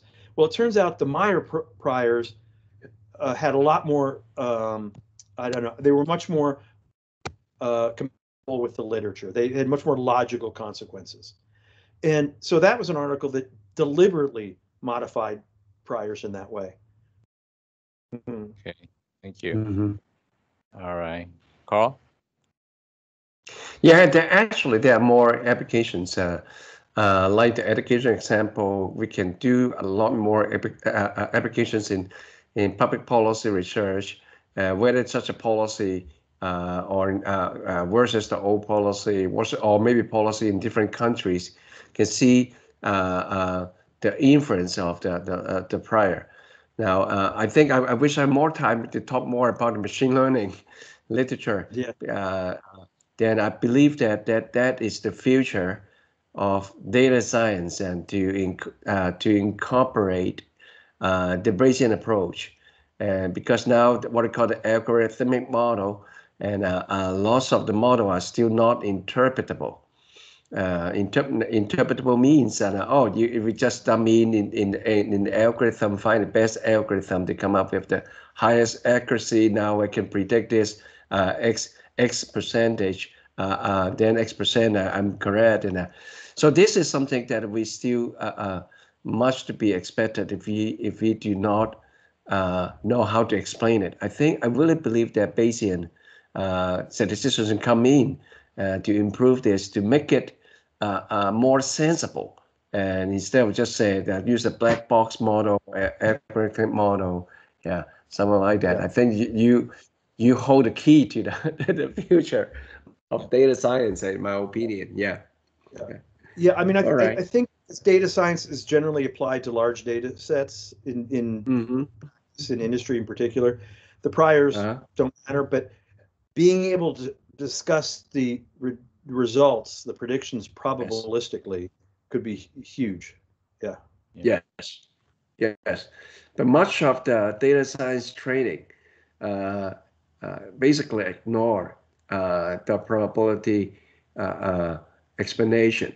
So they just look at, oh, uh, come up with the good algorithm and dump it into the uh, uh, random forest uh, model or uh, SVM. Now we which one is the best, and we take the uh, random forest RF and then come up with the, this uh, uh, uh, prediction and that is seems much to be much to be expected uh, from the Bayesian perspective, of course. And uh, I go back to the ba- uh, Leo ba- Breiman article about the two cultures, and uh, uh, the idea is still uh, to to bridge the two cultures. And now Yeah. we have one more culture we want we want to consider, which is the Bayesian too. Yeah, yeah, yeah. Yeah, here's how bad that is. I agree with your observation. Yes. I co-direct a master's in data science program here at American University, and Mhm. my Bayesian course is only an elective. Mhm. And I'm, I'm I think it should be becoming core. Yeah, in my opinion. In my Yeah, opinion, yeah. I think it should be core. Yeah. I, I All think so too. You know, well, w- w- progress is slow sometimes. hmm Yeah. Hello, Peter. Have more questions from the students? A little bit uh, uh, overrun, but uh, I think. Uh, uh, uh, Yeah, a um, little bit, yes. it's really a, a, a very great opportunity for us to have uh, Jeff uh, to address to both of both group of students and the UTD students here are, quiet and uh, maybe uh, we have a, a few students and uh, I, I I hope that in future we can uh, bring Jeff again and uh, on board and so we can uh, talk more about the applications of Bayesian. And actually, in his uh, later slides, we saw I saw a lot of cases in, in your in your slides. And you have seventy something pages, and uh, yes, we are we're basically entering the door. it's not seeing the room yet. yeah. Okay. All right. The really you know want what? this. uh, I would like to do Yeah, that. um, if anybody, students or anybody has a question from this, I'm I'm Jay Gill at American.edu. Okay. All right. Or right. you can find Yeah, me at jeffgill.org too. Sure. Yeah. We're gonna send questions if there's any. And actually, um, Karl says that we we're hoping to see more application to to that because um, I think that's really what uh, interests the students first here. And I have to admit that, like I said, yeah, some of them are not, um, you know, um, uh, statistics savvy in, in some way. So uh, there there's a, a barrier as a threshold over there. But using the application and then try to uh, you know arouse their interest, I think that would be some. Uh, and maybe next time we can try uh, we can start from there. You know, start from application and then go back to uh, what uh, statistic models or Bayesian models that we can use to solve this issue or analyze this issue. I think that that's probably we can do now. Agree. Yeah. Mhm. Yeah, um, but I would like to add also that, um, Yeah. you know, in a very uncertain, chaotic world, economy, et cetera, data scientists still get jobs every time, right? Mm. Like degree, there, there's no such thing as an unemployed degree data scientist. And by that means, that you could have some other you you could study sociology, but with a focus on data science and statistics, and you'll get a job. Um, and so I, I think I can't think of very many other industries like that. Nursing is one. right? There's a shortage of nurse nurses worldwide. There's there's always a shortage of data scientists in every economy. Mm. Um, I'm working with a, a group in West Africa actually, where we're we're we're doing a collaborative venture, uh, starting in Ghana but branching out from from there, and um, there's huge demand for data science in West Africa. There's uh, you know in virtually every part of the world. Um, so if you can do what you love in terms of content, and then add the things you were talking about, Peter, um, applications theory, uh, then you're going to do well. Mm-hmm. Mm-hmm. Yeah. All right. Um, thank you a lot. And uh, Karl, is there any more questions over you know, on your side? All right. Um, I think this concludes our uh, uh, uh, 2020 Data Analytic Colloquium events, and we are so so glad that we have a really uh, uh, uh, perfect finale and uh, to to uh, wrap up this uh, this term. But we we it's only the um, the prelude for the more more more more events to come. We we we hope that next semester or next year we will have another series of uh, um, uh, great speakers.